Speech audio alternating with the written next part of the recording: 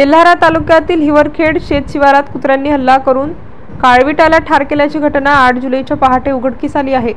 गावालगतच घडलेल्या या घटनेची माहिती स्थानिक नागरिकांनी वनविभागाला दिली.